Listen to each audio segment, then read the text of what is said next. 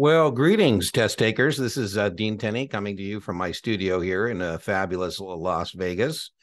Uh, going to do a little carve out. Well, I shouldn't say carve out, separate lecture on a balance sheet and an income statement. Uh, I have explicated in the FINRA content outline for Series 7 the particulars about a balance sheet, financial statements, income statement for the Series 7 exam. I've also explicated that in the Series 65 explication of NASAA's test specifications, and I've done the same for Series uh, 66. However, I thought it might be uh, helpful to have a separate kind of a discussion, um, self contained, about uh, balance sheet and income statement for test purposes. So, uh, people are saying that they're seeing questions where they're giving the ledger entries, you know, the entries here and having to deal with it as a whole rather than piecemeal like you know what is you know working capital. So let's just go through this uh, balance sheet and talk about some of the things you might encounter uh, on your exam. Now this is testable on two levels. What i mean by that is we should have a general understanding of a balance sheet as it relates to a corporation as we see here uh, as well as a balance sheet for a customer right where we go through it. And by the way when you get lost that's what i would suggest you think of it as is like you know your personal balance sheet uh you know as compared to you know corporate. It's very similar. Anyways a balance sheet is a picture in time. So let's just say this is the end of the third quarter. So let me just get my annotation tool fired up here. And let's say we're looking at this balance sheet as of september 30th 2022 so this was the state of affairs now, as a uh, issuer, you're going to report this information quarterly, three 10Qs and a 10K. The 10K is the fourth quarter as well as the uh, year-end results. You're going to file that uh, those 10Qs and a 10K. The 10K is audited uh, with the SEC, the Market Center, Nasdaq, or New York, and and most importantly to your customers right? So this is as of September 30th, 2022. So the end of the third quarter. So let's go over to the uh, classical balance sheet equation. Classical meaning we think everybody knows it. Assets minus liabilities equals net worth is the way I like to think of it. In this balance sheet, 100 million minus 46 and a half million equals 53 and a half million. That's why it balances. Uh, you know, uh, however, you know, uh, you could also think of it as why it balances assets equals liabilities plus net worth. So let's just uh, put that in. Whoa, sorry about that. Let me get that. Boom. And, uh, you know, here's the big equal sign that I put in the uh, thumbnail, basically, right? Boom. That's how it balances. All right. So let's look at the asset side of the balance sheet first. Current assets are cash, or things you plan to turn to cash within 12 months. Right. So if I ask, what are your current assets? I'm asking, what is your cash and things you intend to turn to cash within 12 months? So here we have uh, 5 million. The corporation has 5 million as of today, this picture at this time, 5 million in cash, 10 million in accounts receivable. So again, you could think of your personal situation. If I you know, I have a two tier pricing thing for tutoring. If you use my booking page, it bills you immediately, and I don't have to send you an invoice, and it's a lot less hassles. If you want to be invoiced, I charge you a higher fee. And let's say that uh, I have an account receivable, meaning, you know, I've delivered to you tutoring and you haven't paid me and you owe me 2000 bucks. That's an account receivable, right? That's $2,000 I plan on collecting uh, within 12 months. Inventory. So we have $15 million in inventory and we plan on uh, selling the inventory. We plan on turning the inventory to cash within 12 months. Now, one thing we should be aware of is we don't want to have to turn our inventory into cash uh, quickly. You know, we want to be able to get our margin. And so, one thing we might be interested in is what is the quick assets of this corporation? The quick assets. Let me get a smaller font. Uh, I chose a bigger balance sheet, even though I know it's going to give me less room to uh, make my notes to it, just because I know that some of you are using, you know, smartphones or whatever you're using. So hopefully you can see this a little better. But current assets are the uh, quick assets are current inventory. Uh, excuse me, current assets. I need another cup of coffee here. This, another cup. Cheers got to get that caffeine going. Anyways, current assets minus inventory. So in this example, in this example, if we uh, took that and uh, we would find out our quick assets, let me get a different color, is going to be uh, 15 million, right? Because we've got current assets of 30. We've got inventory of 15. And so we would have quick assets of 15 million. All right. So our fixed assets are long term assets. These are fixed or long term assets, things we don't plan on turning into cash within 12 months. Our buildings, our furniture, uh, land. So we have total fixed assets uh, of 70 million. Intangibles are goodwill, uh, you know, patents, things like that. You know, what is the golden arches of McDonald's worth? We don't really know. So, you know, when we're calculating book value, for example, theoretical liquidation value of the business, we usually don't use the intangibles. However, those are those are real numbers. Like, you know, for example, in social media, I go by Series 7 Guru as my social media handle. That's an intangible. What is that worth in the marketplace? Who knows, right? It's a brand, basically. So those are uh, intangibles, uh, goodwills, patents, things like that. Uh, you know, again, if I were going to finagle my balance sheet and I want to be, you know, I could say that, that my intangible, my goodwill from Series 7 Guru is worth a million, 10 million. I could say it depends on what day I wake up. Sometimes I think it's worthless. But, anyways, uh, we have 100 million on the uh, asset side. All right, so let's go over to our liabilities and net worth. Uh, current liabilities are things I plan on paying within 12 months. So accounts payable, you know, in my example, if you're going to use your personal kind of situation, we're looking at a corporation. But again, we should be able to kind of have a general understanding as it relates to a corporation or an individual. In my situation, I, you know, I pay a lot of things, um, subscriptions. You know, I pay Google to make the advertising go bye bye. I pay, you know, Reddit to make the advertising go bye bye. I subscribe to uh, StreamYard for our, our Tuesday live streams, uh, you know, uh, uh, so on and so forth. I have an automatic uh, booking page called Setmore that I pay them. So, in my subscriptions, I owe people uh, through the year or several thousand dollars. And so those are things I plan on paying within 12 months. Uh, wages, that's what you owe your employees taxes, what you owe the IRS. And so we have total current liabilities of six and a half million. Now, one thing we do ask on the test is both recognition and practical application is working capital. And working capital is the current assets. I'm going to take this down here. Working capital is the current assets minus the current liabilities.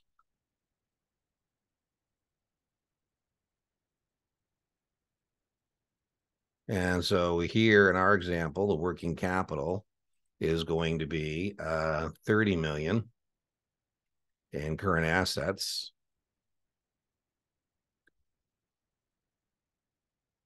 Minus uh, six and a half million uh, a lot of times it's recognition more than it's actually can you do the math. Uh, what I mean by that is, you know, sometimes they just ask you to pick the formula out of the lineup. So I'll just call this A, for example, in terms of recognition. You know, which of the following best describes working capital? So a lot of times they're not asking you to actually, you know, do the math. Just what does it look like? Again, I'm terrible at arithmetic, so I'm going to get out my calculator to do the math. So 30 million uh, minus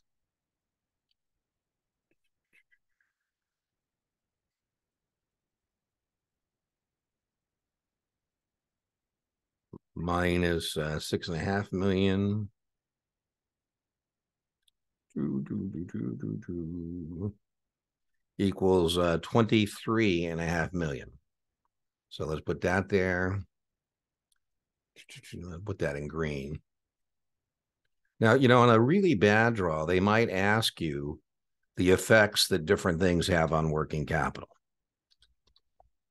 So, you know, for example, uh, our working capital here is 23 million. And let me put a dollar sign there.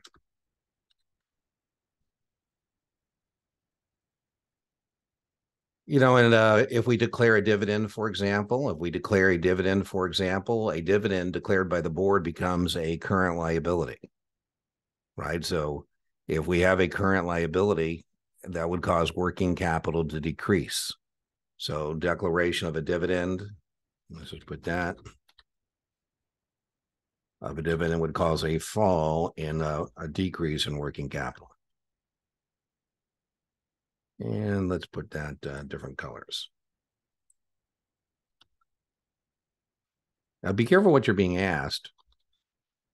You know, what I mean by be careful what you're being asked is because when we pay the dividend, there is no effect. What I mean by that is, right, if you if you pay your bills, if I ask what is your working capital, your current assets, minus your current liabilities, and you sit down to pay a bill, like let's say I'm going to write a check to pay my phone bill my you know my cash went down by the exact same man- man- manner my liability went down. So be careful about whether you're being asked about the cl- declared date, working capital decreases, or whether you're being asked about the payable date where there is no effect on uh, working capital. Okay, so what else could we ask you in terms of uh, balance sheet entries and what affects working capital? As you see here, at one point in time, we sold $40 million worth of bonds right? And so if we sell securities, stock or bonds, that would cause working capital to go up, right? Because we would have uh, in that 50 million bond, 40 million dollars worth of bonds we sold, that's going to be cash received from the proceeds of the bond offering. And then that'll not show up in current liabilities, it'll show up in long-term liabilities. So, you know, if we uh, raise money, equity or debt capital, uh, that would cause working capital to increase right? So those are the kind of questions you could be asked about the effect that certain transactions would have on the balance sheet, right? And that would be a primary transaction. All right, so that would be what we call our our, working capital. A another, let me just clear up the screen. Another thing you get asked about is a current ratio. The current ratio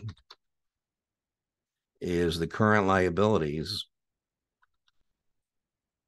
excuse me, current assets divided by current liabilities. So in our example, in our example, the current assets are 30, 30 million dollars. We're going to divide that by our current liabilities, which is six and a half million. And we would get uh, a current ratio of 30 million divide by six and a half million equals wow you know this this uh, corporation is pretty uh doing pretty good 4.6 to 1 and so what that means is we have uh, four dollars and sixty cents in current assets for every uh, dollar that we uh, owe. Uh, current assets divided by current liabilities. Now, another thing we get asked about is the quick ratio. Now, these are liquidity things. You know, working capital is about the liquidity of the corporation. Current ratio is about the uh, liquidity of the corporation. Another one we get a, a test a test on is the acid test or quick ratio.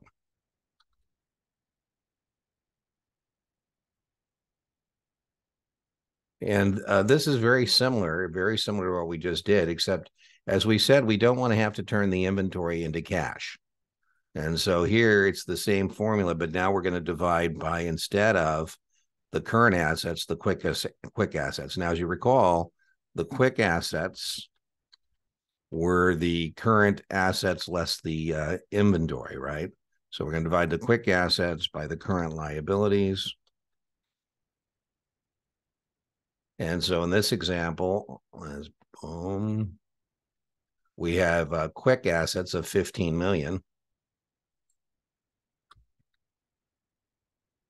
And we're going to divide that by our current liabilities again, which is six and a half million. And again, that will establish our quick ratio. Ratio always means division, by the way. So I would joke. I'm, you know, I'm not really joking. I'm kind of joking. But if you can't decide what to do on the test, I see I have a typo here. It should say C current liabilities. Another cup of coffee. um, I'm not being facetious. My arithmetic is terrible, so I'm going to use my calculator. 15 million divided by six and a half million. And uh, we have uh, $2.30, $2.31 for every dollar we owe.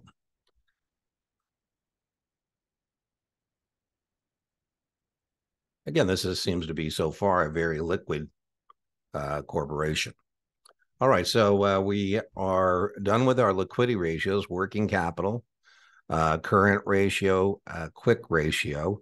Let's move on on the balance sheet and let's talk about these long-term liabilities. So we sold some convertible bonds. I can't stress this to you enough. Whenever you get a conversion price, whenever you get a conversion price on any of these exams, you have to establish a conversion ratio. Is much more important for us to know. Let me get a bigger font here. It's much more important for us to know how many shares we can get of these bonds, or in this case, from the issuer's perspective, how many new shares are we going to have to issue uh, based on this? Perhaps, right? So that conversion price is 50. So the way we're going to get establish the conversion ratio, very important as a test taker, is we're going to take par, and in a bond that's going to be a thousand, and we're going to divide by the conversion price, which in this case is 50. Now be careful because remember, ladies and gentlemen, if this is a convertible preferred stock, par is 100. It's very important that you know par for preferred is 100 and for bonds it's a 1000. So if I take that uh, there and I divide, let me get a color we haven't used yet. Uh, so 1000 divide by 50, I find out that uh, each of these bonds can be converted into 20 shares. So what that means is you know, uh, it says 20 years, but you know, you can convert whenever you'd like. However, uh, you know, if I were your broker, I'd say, why are you going to convert? I'm just trying to find us a right color here. Yeah, let's put it in. Let's put in that. That sounds up a little bit. Um, we're going to ask you, do you want your thousand dollars back or do you want 20 shares? Now, this represents potential dilution. And so the existing shareholders had to vote in favor of this. Now, I want to see how many shares that potentially represents. So what I'm going to do is I'm going to take the 40 million. That's what we got when we sold the bonds par in the primary market. I'm going to divide by par a thousand. And the reason I'm doing that is I want to see how many bonds that that is because I want to see how much potential dilution is there, right? Because these are uh, could. By the way, it, at the end of the term, people are going to either say, "Give me a thousand or give me 20 shares." If 20 shares is worth more than a thousand, then they're going to say, "Give me the shares." If 20 shares isn't worth a thousand, they're going to say, "Give me the uh, my principal back." And then again, the issuer could do a forced conversion by offering you a call. And again, if that call price isn't as good as the stock price in terms of uh, parity, you're going to have to calculate parity, by the way. But anyways, if it's not as good, then you'd make that decision. So, anyways, let's see how many uh, potential shares this is. We got uh, forty million dollars worth of bonds. Uh, we divide by a thousand, and we find out that's 40,000 bonds. So we're going to put that there. And then the reason that's important for me, uh, again, is because what I want to know is what is the potential, what is the potential issuance of those shares, right? So if there's 40,000 bonds, and they can be converted into 25 uh, shares or 20 shares, excuse me, 20 shares. We're looking at the potential of, uh, let's see how many more new shares that would be. So 40,000 bonds times 20 shares. Uh, we're looking at a potential of 800,000 more shares you know, so you know, sometimes we're going to be interested in like, okay, what does the business look like if all these potential owners choose to become owners? right? Because these are people who are right now bondholders, but if they want, they can switch their status into becoming um, shareholders. So there's a potential 800,000 new shares that can be issued here. Okay, so uh, it's 8%. That's the coupon or the nominal yield. So we could also figure out, uh, you know, how much in interest we're going to be paying each year, right? So we've got uh, $40 million that'll be paid semi-annually times 8%. And it looks like, whoop, uh, 40 million times 8%. So it looks like that's uh, three million two hundred thousand. We're going to owe in some interest.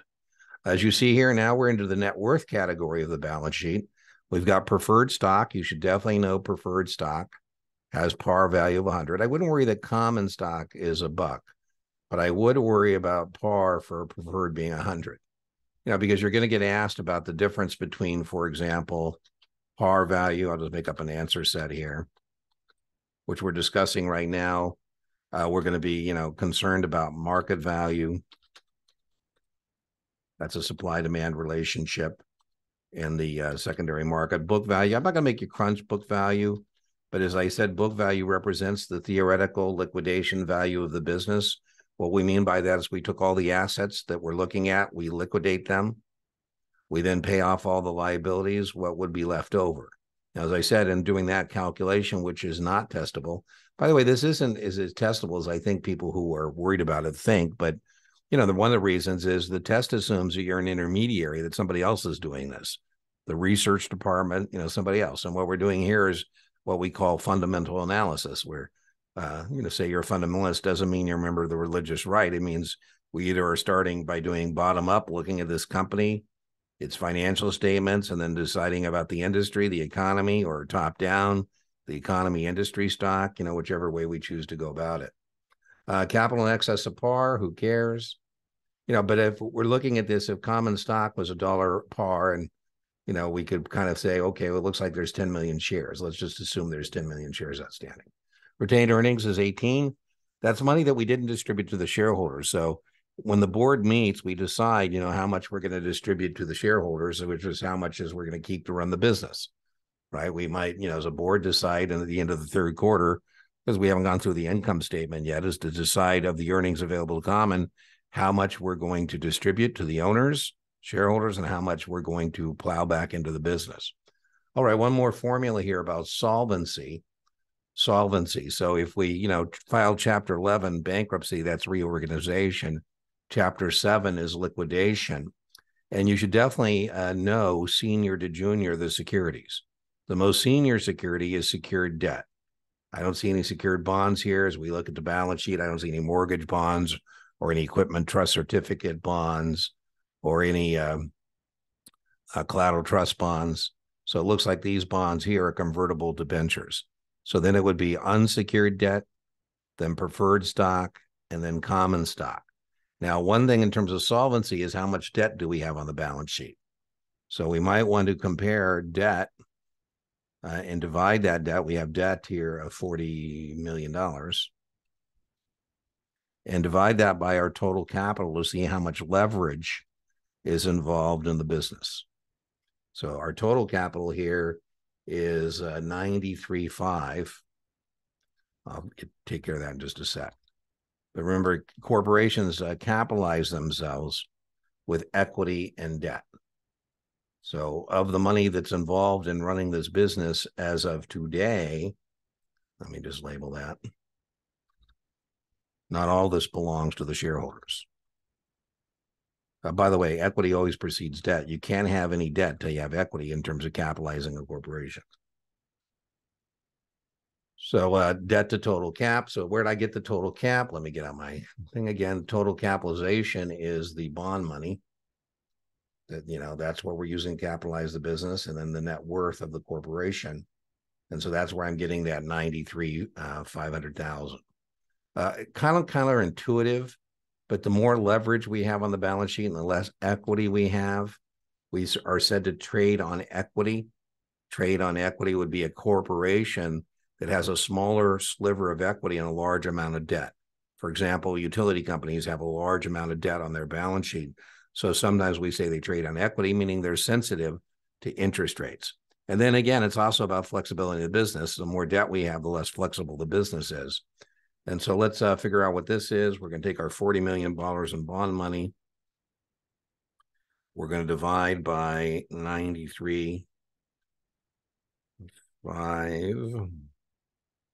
And we find out that uh, 42 cents of every dollar involved in running this business belongs to the bondholders and not the owners of the business.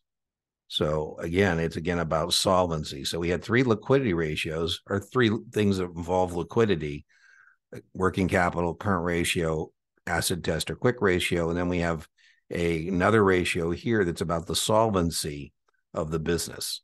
Yeah, the the more debt you have on the balance sheet, you know, the bigger the prospect of uh, bankruptcy, right? So, less debt you have. Again, think of your personal situation. You know, I can't go bankrupt because I don't owe anybody any money. So, you know, you know that's and now you might find that's that's you know silly not to have any debt, but you know, to each their own, right? If I when I was a younger person, I had a lot of debt and a lot of debt. So corporations are uh, persons too, as Mitt Romney said. They're just unnatural persons. Okay, as I said, you probably should be able to do this for you know have a general understanding this balance sheet for for the test as well as uh, you know being able to, to, tell with customers say hey you know what i'd like to do is kind of get, take a picture in time of where you're at today you know by doing a personal balance sheet and we can revisit this and uh, hopefully we can get that net worth up Okay, so the other uh, part of the financial statements that we're interested in is the income statement. So let's uh, go through the income statement. Just let me uh, look this over, just make sure I haven't missed anything here. Yeah, I think good enough. I mean, I'm probably doing, if anything, overkill. We're into this for 30 minutes. So here's XYZ Corporation. It says month ending. But remember, we don't have to report the month. What we report I basically just grabbed a, a balance sheet and income statement to you know do this little uh, carve out. So uh, XYZ Corporation income statement month ending, but we would have to do it quarterly, right? So quarterly, remember, is how often we're doing it. So you probably heard of this before. You probably have heard of this before, but you know, colloquial, we say, what is the top line? The top line is revenue, right? So you probably heard of that term before, the top line. And then the bottom line, what is the bottom line? So as we go through this, you know, is that bottom line going to be positive or not? Right. So on this income statement, we have uh, our sales, 85 million in sales. We have costs of goods sold of 20 million. So, you know, that's what, you know, our, by the way, I doubt we're going to get into margins and stuff like that on, you know, again, it's somebody else's job to do that. But uh, looks like we have pretty good margin here. Woo! you know, that's a pretty good uh, margin.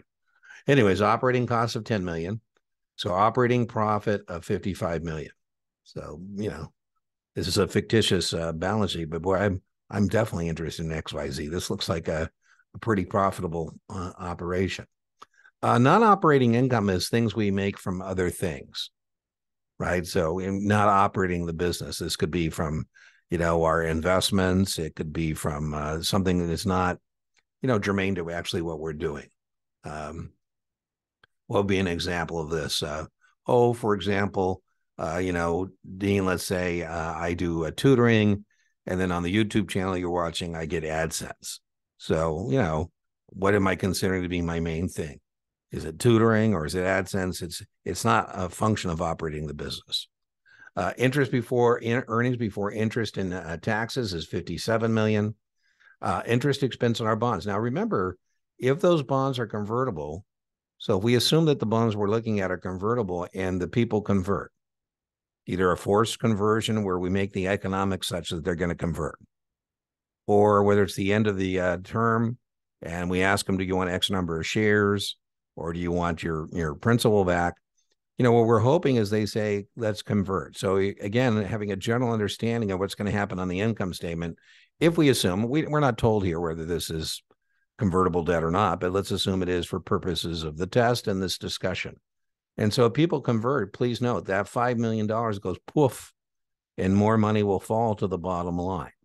So one thing we're sometimes concerned with was is called fully diluted earnings per share. What we mean by fully diluted earnings per share is Let's assume that everybody who can convert does so. And earnings would go up, but so would the share count, right? We're going to have more shares to split the money with. So I'd have a general understanding of that. So we have taxable income. The interest you pay on the bonds is deductible. So that's 52 million. Uh, we owe $17 million in taxes. So our net income after taxes is 35 million.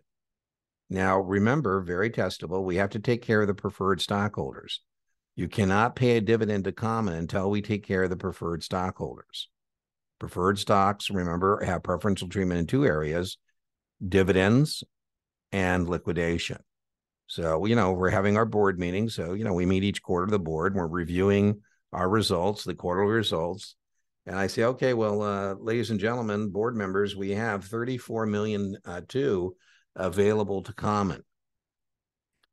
You know, do we want to declare a dividend? Now, you don't have a right to a dividend unless it's declared. You know, you know, we don't declare that dividend, then you have no right to it, right? But they say, yeah, let's declare a million dollars worth of dividends. You know, I said, wow, geez, that's pretty stingy. I'm joking. It's a very profitable business, but you know, a million dollars of that. So that means we're going to keep 33, 233 million, 200,000, uh, you know, to build the business. Uh, but let's suppose there's uh, 10 million shares outstanding. So I'm just making that up. But we had uh, 30 uh, for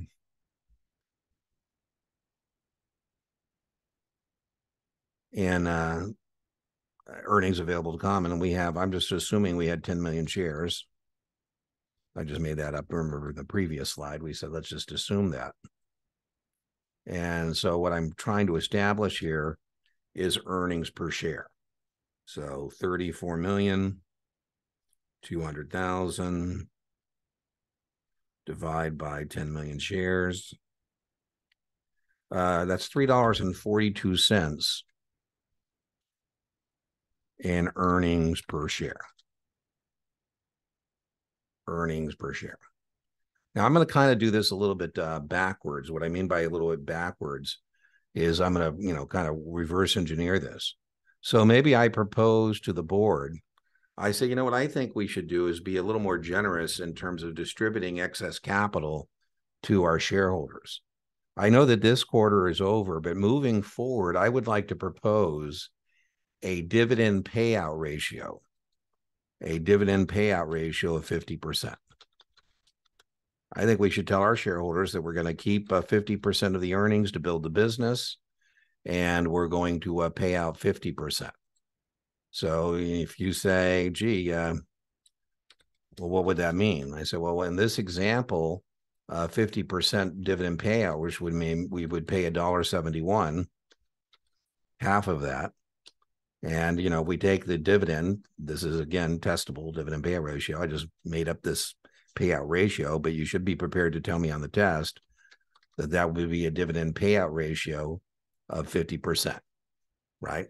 I said moving forward, I think we should declare a dividend uh, payout ratio of 50. So whatever the earnings are, we're going to tell shareholders that they get a percentage of that. Uh, some boards do that. Some some it's discretionary. Some it's a it's a quarterly dividend that is uh, consistent. But we should know that we associate uh, higher dividend payout ratios with more mature, stable businesses. So basically, this company has got to c- kind of justify that it needs to keep this much money to build the business, and there might be opportunities for them to do that. But you know, otherwise, they might have people saying, "Well, gee, why don't you give that money to the owners so we can decide what to do with it?" But anyways, I would have a general understanding of this concept of the dividend payout ratio. And again, a concept about, you know, we associate dividends with mature, stable businesses they can afford, you know, they don't need all the money that they're making to, you know, build the business. So, boom. Now, another thing that we should be aware of that relates to this, it's not found on the financial statements, kind of a trick question, right? What's not found on any of these uh, documents, any of these things we've been talking about, is the market price of the stock.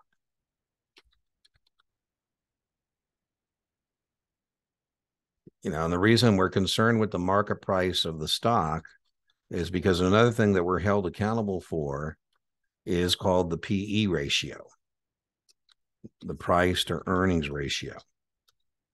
You know, we use this to uh, measure uh, and compare companies. You know, so for example, maybe I tell you that the current market price of the stock, the current market price of the stock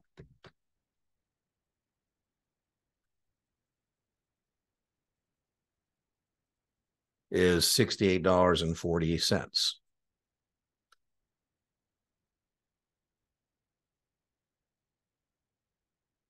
I just made that up to illustrate this uh, concept. And so, one thing I might ask you is to take the price. What is the price to earnings ratio on the corporation that we're looking at? And so, price to earnings, we're going to take the price, we're going to divide it by our earnings. So, let's just label everything here. Here's our current market price. And we're going to divide that by our earnings. As you recall, our earnings was uh, $3.42. We'll put that in a different color.